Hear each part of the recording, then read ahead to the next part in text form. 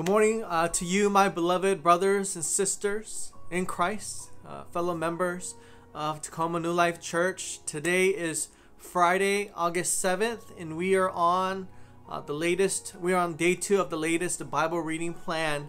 Uh, what does it mean to worship? You know, worship is, is so important for our Christian lives. It is so essential to our well being, our, our growth, and our maturity as followers of Christ. And just in case you missed it yesterday, uh, worship is ascribing unspeakable value and displaying substantial love to something. Right? Worship is and reflects the posture of our hearts. And so, whatever is seated on the throne of our hearts, we will worship, right? We give that worship, whatever that might be.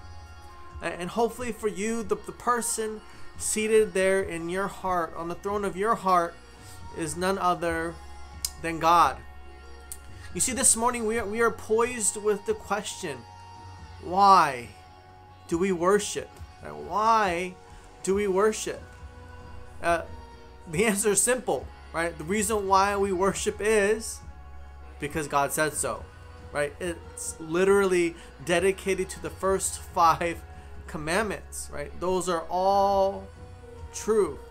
But that's not why we worship, right? We don't we don't just worship because that's what God said, right? It's like a, it's not a punishment to us. Right? We, we worship God. We are adamant and conscious about worshiping God because God is worthy, right? We worship him because he is worthy. You see, in Revelations chapter 4, verses 8 to 11, it says, And the four living creatures, each of them with six wings, are full of eyes all around and within, and day and night they never cease to say, Holy, holy, holy is the Lord God Almighty, who was and is and is to come.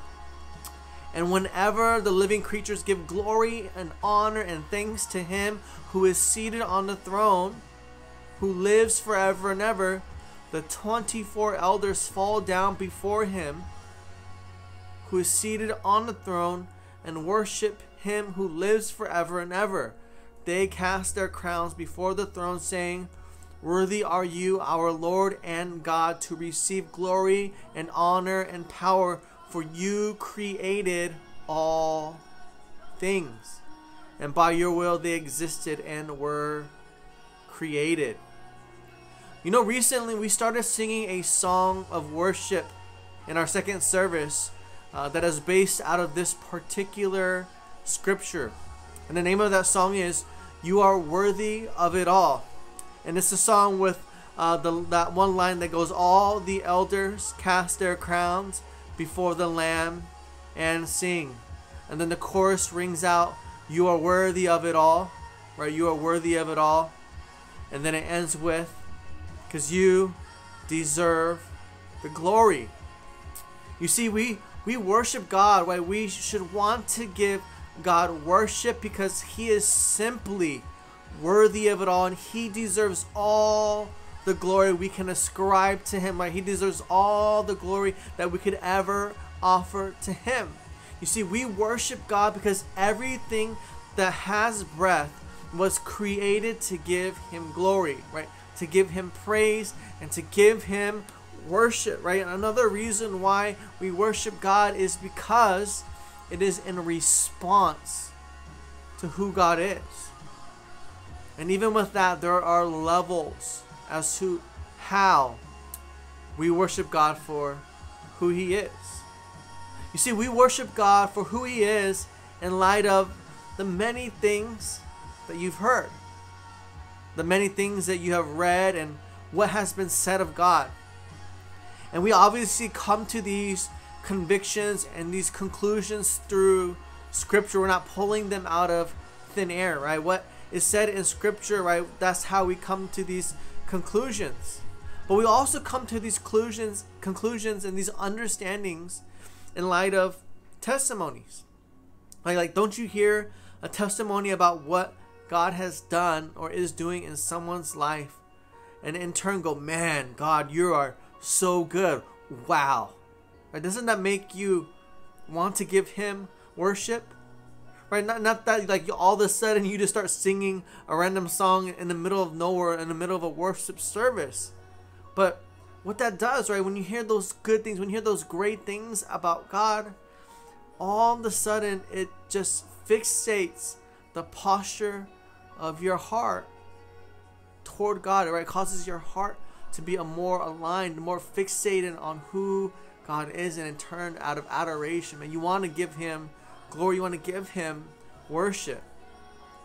You see, another way we worship God for who He is is because that's what we are experiencing with Him, right? It's coming from personal experience. In our relationship with God, as as it's moving, as it's progressing, as it is journeying along in our faith and maturing how we are getting to know God, that is going to influence how and why we worship God. And that's why it is so important for us, right? That's why it's so important for you and I to want to know Him more and more. Because, because quite frankly, we cannot worship him for something he is not. Right? We cannot worship him for something we do not know, right? And we can't worship him for something we don't align with or believe. Right? Like we can't worship God as if he is some sort of genie in a magic lamp waiting to be something waiting to grant the wishes of our hearts or the desires of our hearts. Right? That's not how it works. You see, we cannot worship God as if He is some sort of fortune teller that we visit whenever we need some life direction or help making some sort of life cho- choice. But up until this point, we've been neglecting Him. That's not worship. Right? That's not how we go about worship. But here's the cool thing, here's the great thing, here's the encouraging thing about knowing God and getting to know God more and more. And that's this our lives, like your life, my life, they are full of opportunities to know Him more.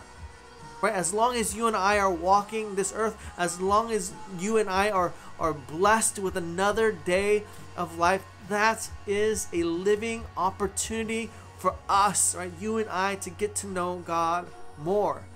But as we are getting to know God more, there are going to be some days when we experience something new. We have some sort of new revelation, some sort of new conviction. And then there will be days where it's simply just something that maybe we forgot about God. And God is reminding us of who He is. And there will be some days right? That will be reminders and affirmations about who God is.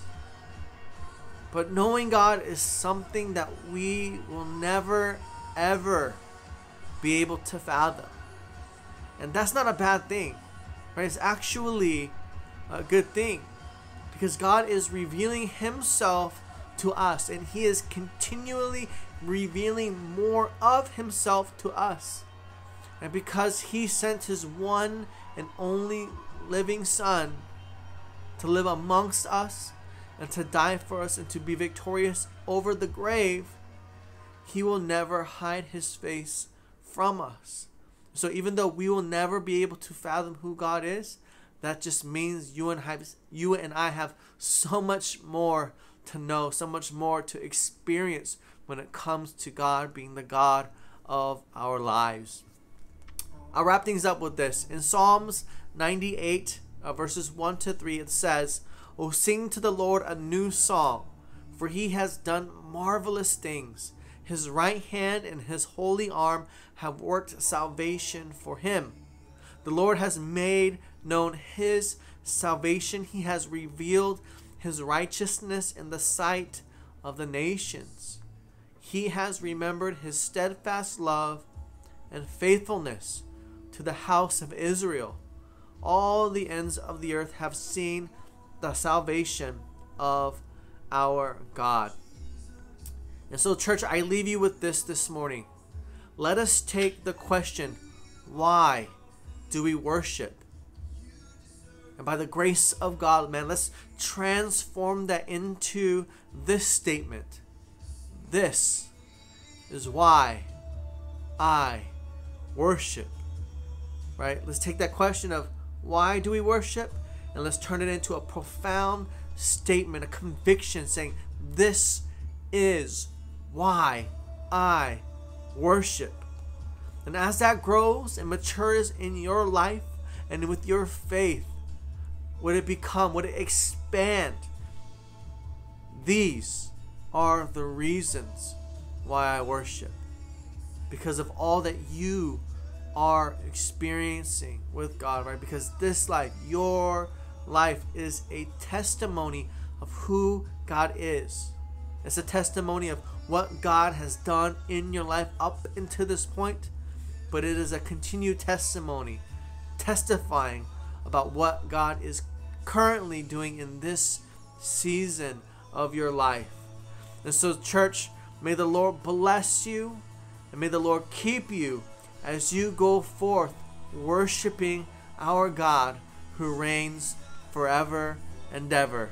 Amen. Amen. May you go in peace.